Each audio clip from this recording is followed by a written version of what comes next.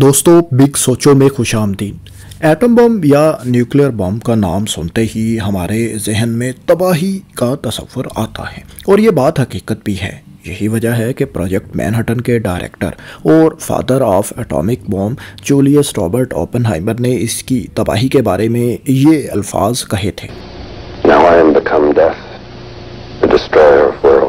इसका अमली मुजाहरा। दुनिया जंग अजीम दोम के दौरान 1945 में जापान पर गिराए गए दो न्यूक्लियर बॉम्ब लिटिल बॉय और फैटमैन की सूरत में देख चुकी है।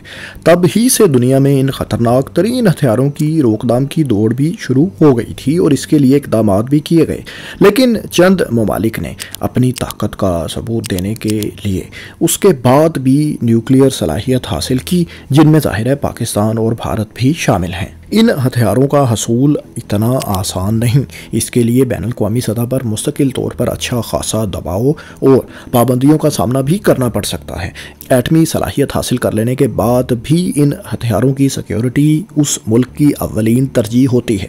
क्योंकि किसी भी किस्म की कोई कोताही या तो किसी हादसे का सबब बन सकती है या फिर ये टेक्नोलॉजी किसी दुश्मन के हाथ भी लग सकती है। लेकिन दोस्तों, आपको कैसा लगेगा अगर हम आपको बताएँ कि 1940s में एटम बम की तैयारी के बाद ऐसे कई वाक़ात हो चुके हैं जिनमें हिरोशिमा और नागासाकी पर कराए गए न्यूक्लियर बॉम्ब से भी कई गुना ताकतवर न्यूक्लियर हथियार गुम हो चुके हैं। वो हसास और ख़तरनाक तरीन हथियार आज भी खुली दुनिया में कहीं ना कहीं मौजूद हैं। जी हाँ दोस्तों, आपने बिल्कुल ठीक सुना। ये वाक़ात इतनी बड़ी तादाद में हुए कि इसके लिए बाकायदा एक असलाह ब्रोकन एरोज मौजूद है। ये टर्म ऐसे वाक़ात के लिए इस्तेमाल की जाती है जिनमें कोई जोहरी हथियार, गैर मुतव तौर पर लॉन्च गुम या चोरी वगैरह हो जाए। इस वीडियो का हमारा मौजू ऐसे ही ब्रोकन एरो इंसिडेंट्स के बारे में है। सब वाक़ात को कवर करना तो मुश्किल है, लेकिन हम चंद एक चीदा चीदा वाक़ात आपके सामने रखते हैं। दोस्तों, यकीनन आप जानते होंगे कि जंग अजीम दौम के बाद इस जंग के ही दो इतिहादियों, यानी सोवियत यूनियन और अमेरिका के दरमियान सर्द जंग का आगाज़ हो गया था। दोनों ममालिक उस दौर में बरह रास्त तो एक दूसरे के सामने महाज पर नहीं आए, लेकिन प्राक्सी वार्स का हिस्सा ज़रूर रहे और अपने अपने हामियों का भरपूर साथ देते रहे। लेकिन ऐसा भी हरगिज़ नहीं कि सोवियत यूनियन और अमेरिका किसी बरह रास्त जंग के इम्कान को नज़रअंदाज किए हुए थे, बल्कि इसके लिए ये दोनों ममालिक पूरी तरह तैयार भी रहते थे। अमेरिका ने यूरोपी सरजमीन तुर्की, इटली में मुख्तलिफ़ लोकेशंस पर बैलिस्टिक मिज़ाइल नस्ब कर दिए थे और इसके जवाब में सोवियत यूनियन ने भी अमेरिका की बगल में वाक़ मुल्क क्यूबा की सरजमीन पर अपने बैलिस्टिक मिज़ाइल सिस्टम नस्ब कर रखे थे, ताकि किसी भी एमरजेंसी सूरत हाल में रिस्पॉन्स टाइम को कम से कम किया जा सके। अमरीका पर खौफ का ये आलम तारी था कि उन्नीस सौ इकसठ में अमेरिका ने ऑपरेशन क्रोमडोम लॉन्च किया, जिसमें थर्बो न्यूक्लियर बमों से lace American B fifty two bomber तैयारे 24 घंटे मखसूस रूट्स पर हज़ाओं में रहते थे।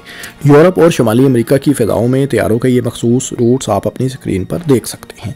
इसी ऑपरेशन के दौरान एक तैयारा चार P twenty eight thermo nuclear bomb लेकर ग्रीनलैंड आ रहा था कि त्यारे के काकपिट में आग भड़क उठी। एमरजेंसी की सूरत हाल को भांपते हुए त्यारे में सवार सात में से छः अफराद ने तो पहले ही इजेक्ट कर लिया, जो महफूज तरीके से कर सकते थे। जबकि सातवां शख्स भी त्यारे से कूद पड़ा और उसने छलांग लगा दी। और ये त्यारा चार थर्मोन्यूक्लियर बॉम्ब समेत गिर कर तबाह हो गया।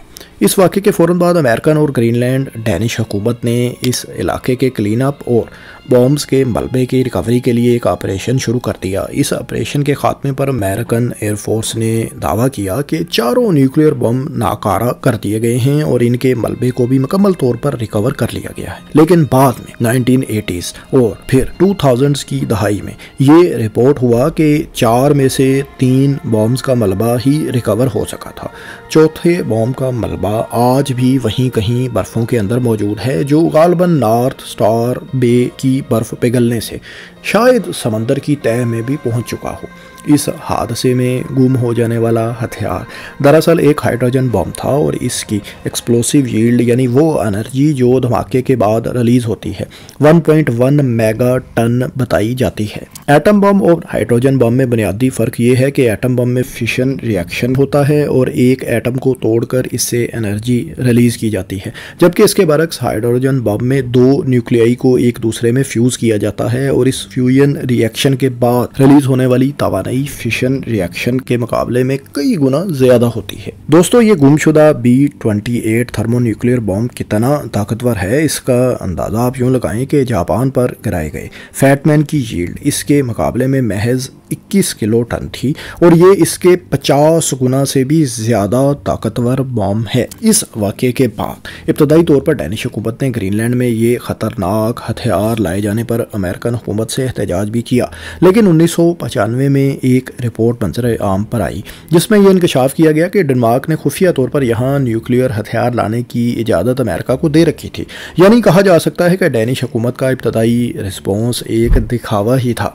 बहरहाल दोस्तों, ये ज़रूर याद रहे कि 1968 में इस इंसिडेंट के बाद ऑपरेशन क्रोम डोम का ख़ात्मा कर दिया गया था। जौहरी हथियारों की गुमशुदगी का अगला वाक़ भी कोल्ड वार एरा का है। ये हादसा अमेरिका नहीं, बल्कि सोवियत यूनियन की एक सबमरीन के साथ पेश आया, जो 3 अक्टूबर 1986 को अटलांटिक ओशियन में बरमुदा से 1100 किलोमीटर शमाल में रूटीन की पेट्रोलिंग पर थी। इस सबमरीन में 16 R 27 U submarine launch ballistic missiles दो दो न्यूक्लियर वार हेड्स के साथ नस्ब थे, और हर एक वार हेड की यील्ड एक मेगा टन थी। इसके अलावा दो न्यूक्लियर टॉर्पीडोज भी के टू वन नाइन में इंस्टॉल्ड थे। यानी कुल मिलाकर चौंतीस न्यूक्लियर वार हेड्स इस आबदोज पर मौजूद थे। ये तकरीबन पंद्रह साल पुरानी आबदोज थी और हादसे के रोज़ इसकी कोई सील लीक होने की वजह से समंदर का पानी आबदोज के उस हिस्से में दाखिल हो गया जहाँ मिज़ाइल रखे गए थे।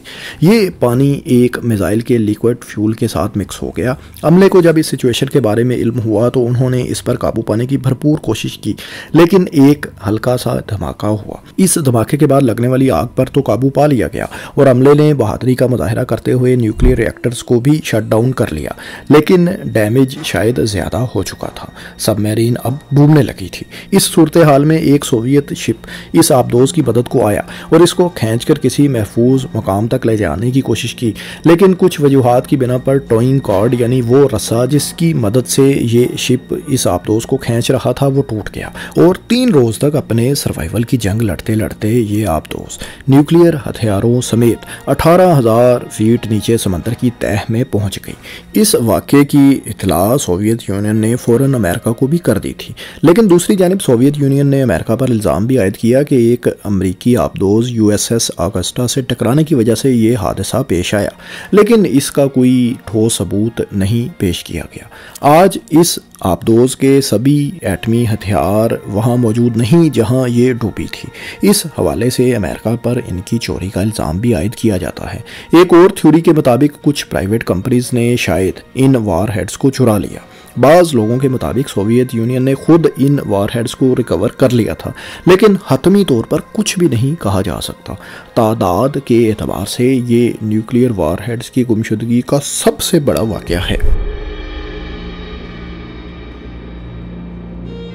न्यूक्लियर हथियारों की गुमशुदगी का ये वाक़ भी कोल्ड वार के दौरान उन्नीस सौ अठावन में पेश आया। ये इंसिडेंट इस लिहाज से भी दिलचस्प है कि अमेरिका ने खुद ही एक इंतहाई ताकतवर थर्मो न्यूक्लियर बॉम्ब एक जहाज़ से गिरा दिया था। हुआ कुछ यूँ कि फरवरी उन्नीस सौ अठावन में दो American aircraft F eighty six और B forty seven bomber Florida के शमाल में एक सिमुलेटेड यानी फर्जी तरबियती मिशन पर थे। ये एक ऐसा मिशन होता है जिसमें जंग की सूरत हाल को माइंड में रखते हुए पायलट्स को ट्रेनिंग दी जा रही होती है। बी फोर्टी सेवन के इस मिशन के दौरान mark fifteen thermo nuclear bomb भी त्यारे पर लोड था। इस बॉम्ब की यील्ड तीन इशारिया आठ मेगाटन थी, जो नागासाकी पर गिराए गए बॉम्ब फैटमैन से 180 गुना से भी ज़्यादा ताकतवर बॉम्ब बनता है। इस फर्जी मिशन में एफ़ एटी सिक्स त्यारा इस बॉम्बर त्यारे की तलाश में था। इस दौरान पायलट की गलती से या फिर रेडार पर नज़र न आने की वजह से एफ़ एटी सिक्स बॉम्बर त्यारा।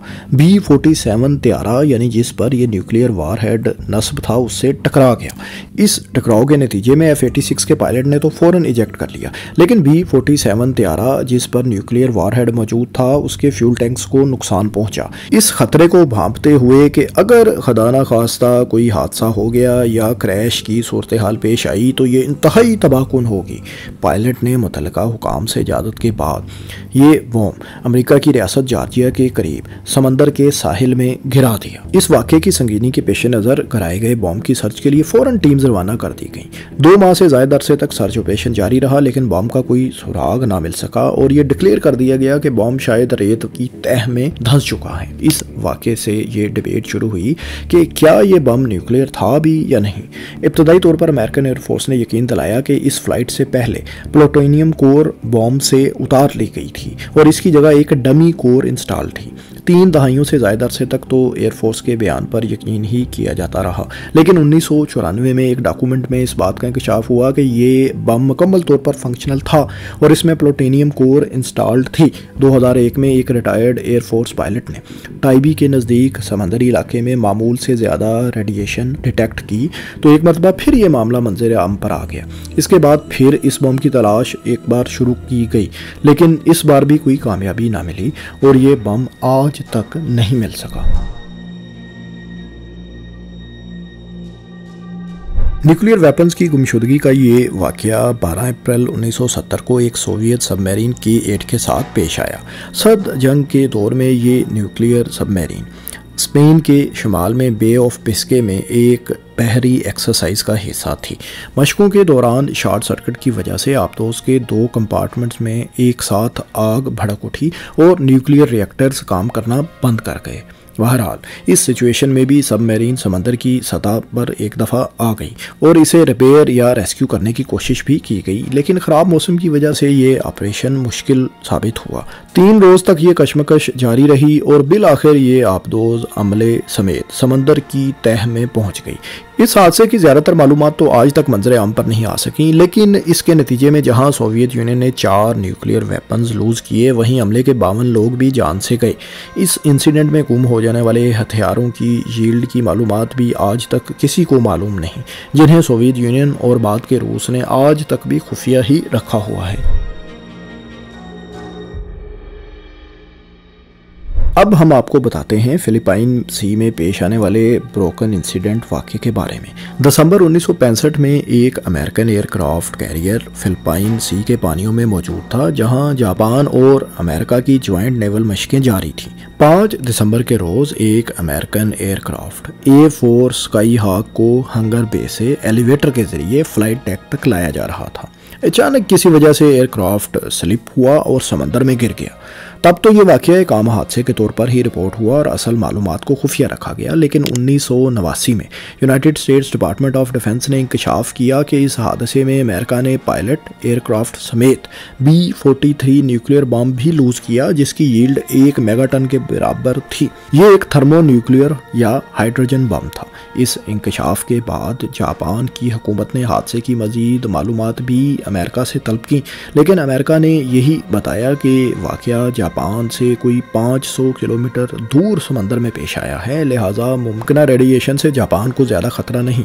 दरअसल दोस्तों, अमेरिका की तरफ़ से ये मालूम जो दी गई थी, गलत थी, ये हादसा 500 किलोमीटर दूर नहीं, बल्कि जापान से महज 90 किलोमीटर दूर समंदर में पेश आया था। दोस्तों, ये बात ज़रूर आपके पेश नज़र रहनी चाहिए कि इसके अलावा भी ऐसे बहुत से हादसा पेश आए हैं, लेकिन कुछ वाक़ात के मकम्मल न्यूक्लियर हथियार होने की मालूम मतनाज़ हैं, या फिर हादसा के बाद हथियारों को रिकवर कर लिया गया था। ये भी जान लें कि एटमी हथियारों की गुमशुदगी के वाक़ात जो रिकॉर्ड पर मौजूद हैं, उनमें से ज़्यादातर का ताल्लुक अमेरिका और सोवियत रूस ही से है। आपको ये वीडियो कैसी लगी? कमेंट्स में अपनी राय से ज़रूर आगाह करें और ऐसी दिलचस्प वीडियोस को देखने के लिए हमारे चैनल को सब्सक्राइब भी कर लें। शुक्रिया।